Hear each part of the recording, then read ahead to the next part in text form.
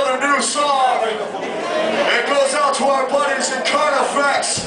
Who's ready to see Carnifex coming up next? This song is called Namaste.